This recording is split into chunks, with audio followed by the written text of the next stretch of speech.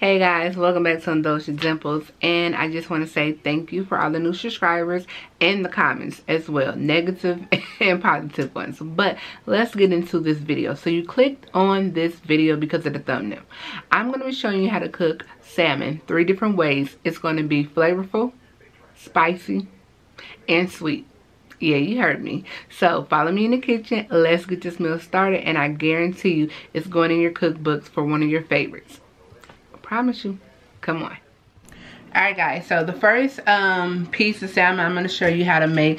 Just in case you get tired of eating your same original salt and pepper a little olive oil put in the oven. So i have a fresh raised salmon alaska. I got it from the seafood area um, it's best to check if you do like the couponing thing. Sometimes they have fish on sale. And I got this for $5.95 a pound at the seafood marketplace in the store. So I just rinsed it off in cold water. I pat it dry.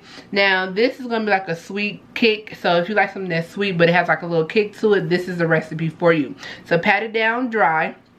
You get kosher salt or I'm to use pink Himalayan salt. And I'm just to go ahead and get myself a nice little sprinkle of this Himalayan salt on here. And you want to pat it down in there. Now, to make this recipe the sweet heat, you're going to need some Cajun seasoning right here. And you're going to need some brown sugar, which I have right here. Now I'm using dark brown sugar. You know if you use dark brown sugar, it's going to give it a more caramelization color. If you use light brown, it's not going to be as dark. So use whatever sugar you have. Don't go out and just get like extra stuff. Just make sure you get what you have in your refrigerator. So you're going to need three tablespoons of your brown sugar. And you're going to need a tablespoon and a half of your Cajun seasoning and you want to put that into a little mixing bowl. Now when you are using brown sugar, make sure that you pat the brown sugar into the measuring cup to make sure that everything is fine. Now I have like a little brown sugar on the side, already patted out. So that's why I just did it like that. Okay, so dump that into your bowl. Just like so. You don't need anything else but them three ingredients. Now, if you know, and you've been with me, I like to season my food up. So, in order for us to have a really good seasoned food, I'm going to add a little bit of onion powder. Just a little bit. You don't need a lot. A little bit of garlic powder on here. And some pepper. That's just like one of my things I love to do do not put a lot if you're heavy handed you might just want to skip the extra seasonings because the cajun seasoning has a lot of flavor to it. So all you want to do is go ahead and mix this up in your bowl. And you want to take both sides and rub the seasoning on. So rub it on the flesh side and then flip it over rub it on the skin side. And make sure you have like a pan or whatever you're going to use and line it with aluminum foil or parchment paper to lay it in there so the cleanup can be very, very easy. So go ahead and mix your seasonings together. And this is more than enough for two pieces of salmon. And all you want to do and I'm going to take the back side first and I'm just going to make sure I sprinkle it on there. Sprinkle enough. And just rub it in like so. Now if you feel you want to put like um, a little bit of butter spray, go ahead and do that as well. And then I'm just going to rub it in on the side. And then I'm going to take my pan and I'm going to lay in my fish like so hopefully you can see it. And then I'm, all I'm going to do is take the rest of this little seasoning and cover up my top and just rub it or pat it in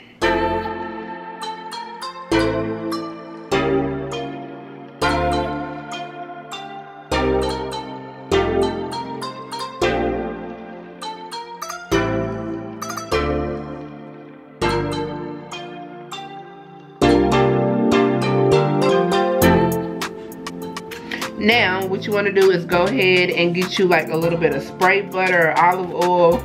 Or if you have like the little spray things, hold on, because I bought them on Amazon. And mine have grapeseed oil in them.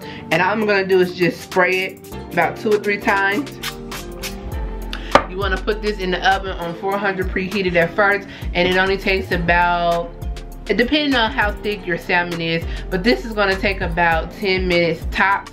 I'm going to check it and then once it's flaky and delicious i'm going to come back and show y'all. So stick with me we got two more recipes for some salmon. All right so our second piece of salmon um, this is simple and easy. So this is still on the easy amount of how to cook this. So um, in the summertime and last year everything was very hot with the everything bagel seasoning so I have the um, everything bagel seasonings from Aldi's and you can get this from there and it tastes just like the one from Jader, Jader Tro's Trader Joe's, okay? So it tastes the same. It's about a dollar or two cheaper. And I will provide you to get this if you want to try it out and you're not for sure okay? So you're gonna need everything bagel seasoning your salmon and guess what? Cream cheese. And you're gonna need some type of cheese that you like. This cheese that i have right here is asiago. And it's really good. It's like a hard cheese. Like um I don't know, but you need some type of cheese that you like. Do not use mozzarella. I like Parmesan cheese. So this is like Parmesan cheese. Duh. So you're going to need like two tablespoons of cream cheese, whipped cream cheese, or, you know, the black cream cheese. And just put in the microwave. Hit it just a little bit. What you want to do, make sure you rinse this out, pat it dry. And you want to add a little bit of salt and pepper. I'm using Himalayan salt. All we're going to do is just sprinkle a little bit of Himalayan salt on here. Or you can use kosher salt uh, whatever you have at your house use that as well. Then go ahead and hit it with a little bit of pepper. You don't have to have pepper on here but y'all know I like pepper. And I all everything bagel season has a lot of flavor to it so you don't have to add any salt or anything else extra. You want two tablespoons of cream cheese sprinkle the bagel seasoning inside the cream cheese and whip it up. And I'm telling you see all that seasoning and salt and stuff so you don't need to add anything extra to it. Use a spoon or a fork to mix it up.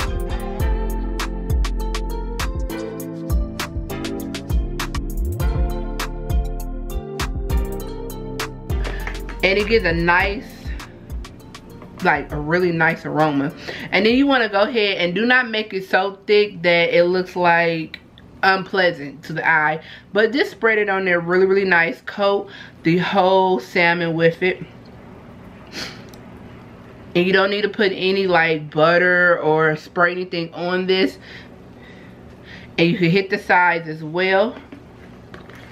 And two tablespoons of cream cheese is well enough for you to get the flavor and what you're looking for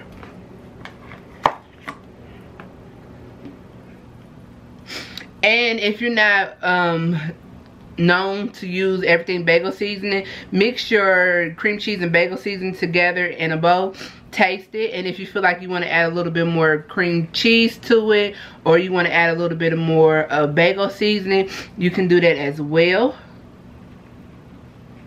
Now what I will tell you do is in your aluminum foil or wherever you're going to lay this at spray a little bit of oil at the bottom so that your skin can get crisp. That's it. See how easy that is? And it's going to have a nice little flavor to it. And I'm just going to take a little bit more of the bagel seasoning, not a lot. And sprinkle it on top like so. And I'm going to put that in my pan. See how easy that is. Alright, so give me a few more seconds. And then I'm going to show you the third and final one. And then when I come back, everything's going to be cooked like that. Alright, so for our third piece of salmon, what you need to do is just cook it naked. Cook it plain, cook it simple. Get a little bit of olive oil or grapeseed oil, spray the back and front, put a little bit of salt and pepper and bake it naked because we actually have to make a sauce to drizzle over this, okay? So, I'm using pink Himalayan salt. And I'm also going ahead and hit it with this black pepper again. Don't have to be heavy-handed do the same to both sides, back and front.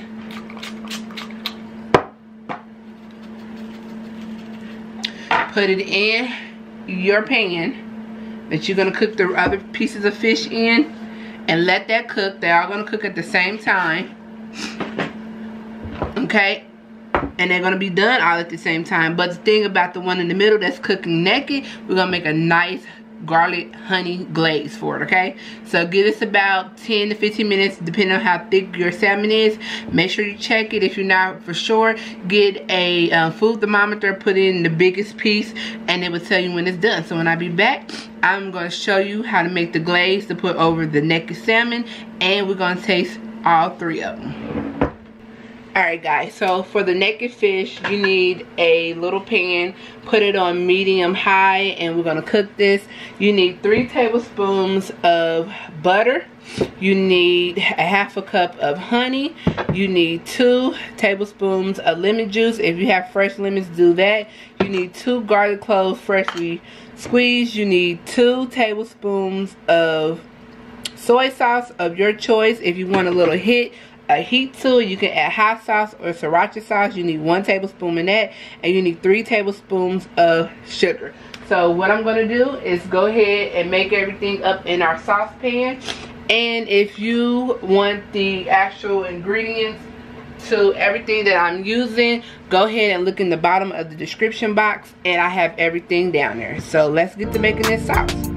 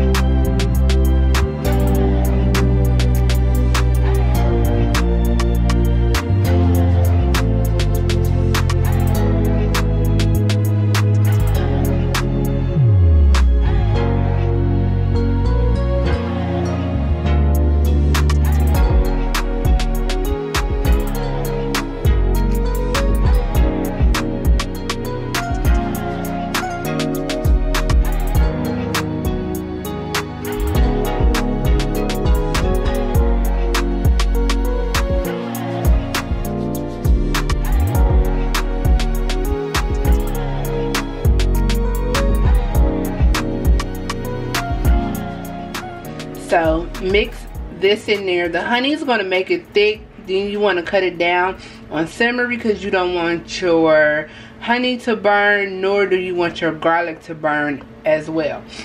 And then as it start getting thick, 10 minutes and went by, your salmon has been cooked.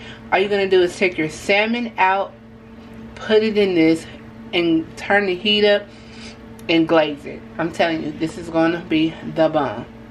When I come back, I'm going to show you how everything is put together.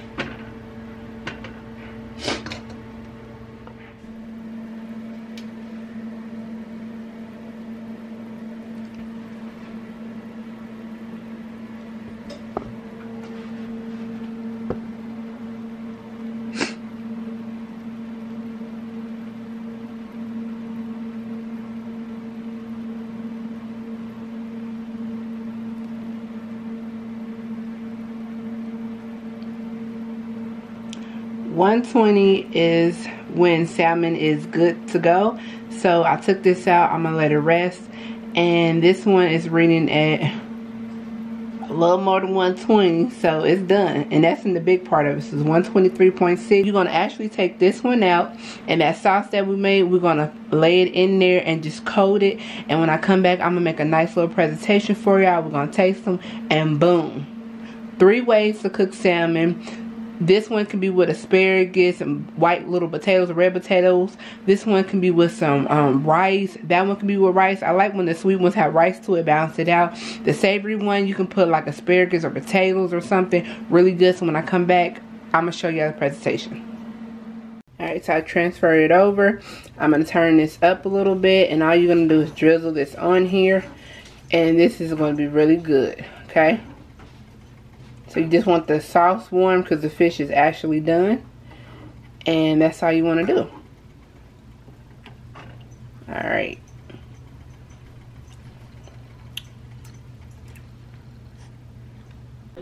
Alright guys, so these are the three pieces of the salmon. This is the Cajun. It has a kick to it now. This is the honey garlic, really good. And this is everything bagel seasoning with the cream cheese. With the sauce, the sauce will get thick like this. The sauce does get thick and all you want to do is take it and look how thick the sauce is, okay? So all you want to do is take the sauce and glaze it over your food just like so. Just let it sit on low and it will get thick. And boom. Look at it's beautiful. Now i have cauliflower rice on mine. Like i said you cook it at 120 the one that you cook naked you just cook at 110 115 maybe. And then you want to take it out and glaze it in that pan like i showed you. And then with the cheese right here the Asiago cheese that I told you about or Parmesan cheese if you don't have it just get a little bit and sprinkle it on top of the everything. But bagel salmon voila it's good it's flaky. And i want to make sure y'all are seeing what i am seeing. Look at that that is beautiful a beautiful plate of salmon three different ways. All right guys until next sunday make sure you like subscribe you share and turn on your notifications. And i will see you next time with a delicious healthy meal. All right